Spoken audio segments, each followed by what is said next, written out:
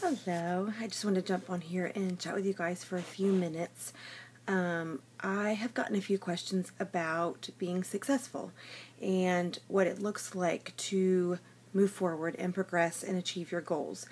Um, and one of the things that I wanted to talk about really quick, um, while I had just a second, was if you are not seeing success or results in what you were hoping for, what does your activity look like? Um, what kinds of things are you doing to help you to achieve those goals?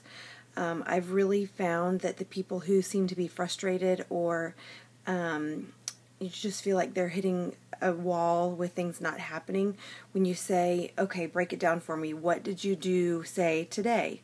Um, to help yourself to move forward to reach those goals? What did your actual um, say, income producing activities look like?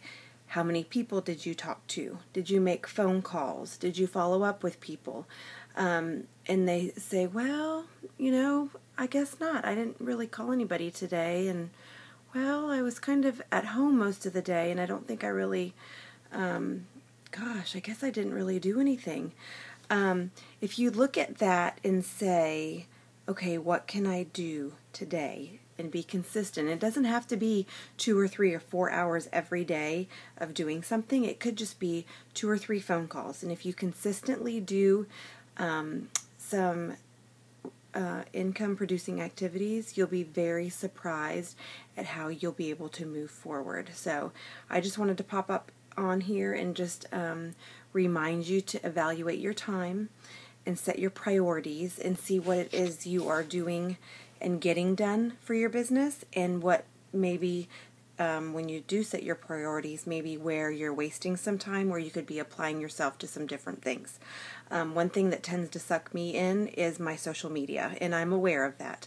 Um, I do use Facebook um, and blogging and stuff like that to reach out and have that be another form of how I kind of advertise and, and network with people and build relationships.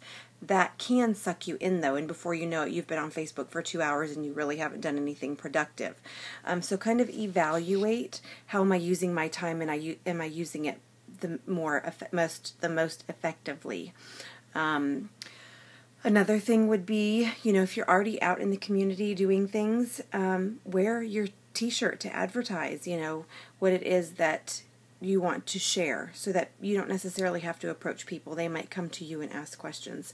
Um, so that's another tidbit. So evaluate where you're spending your time and what you're doing and if you're frustrated and not going anywhere um, are you truly putting in the time and effort? Because you're not you're probably not going to just sign up and have success fall in your lap and you're probably not going to sign up and just have people, you know, calling you. You are going to have to lay the groundwork and put in some some work and some learning and some effort into what you want to do to be successful. So that's just a little bit of a tidbit tonight that I wanted to um, share with you.